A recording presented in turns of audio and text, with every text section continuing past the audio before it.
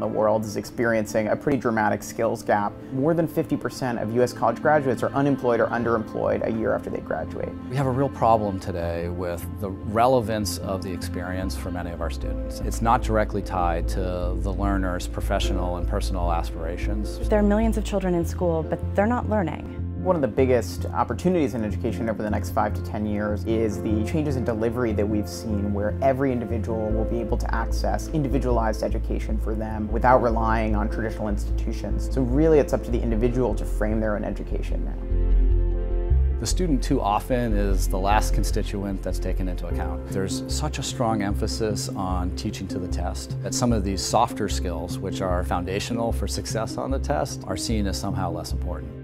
If we look at the skills gap, the kinds of things that employers are looking for is the ability to collaborate. Many technologies are meant to teach using a cognitive approach. Increasingly, we're seeing technologies that also focus on socio-emotional skills. These are really different character-based skills and traits that are oftentimes hard to quantify. The New Vision for Education project really is helping to shine a light on the soft skills that are needed for development of students across the world. Figure out how these skills are measured, how they're taught, and different ways we can use technology to develop them. There's part of knowledge that you cannot actually put in digital format because it will be part of the learning process of meeting someone. And that part will be the one that will differentiate you from other people.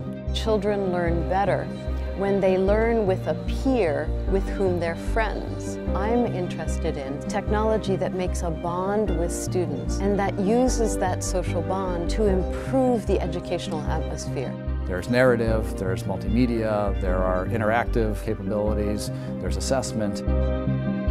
The question today is how do we use all this available knowledge to develop new ventures and to create new jobs. What we are doing now in Brazil is going to the human resource department, the companies, so we can matchmaking with the course that we provide, like how to work in groups, creativity, project management, soft skills. What we'd really like to see in the future is a change not just from the employer but from almost every stakeholder in education where it's not the degree or where the knowledge was obtained that matters but it's the skill level and those particular skills that were obtained and the way that students showed those skills. It will require the collaboration and partnership by all the stakeholders.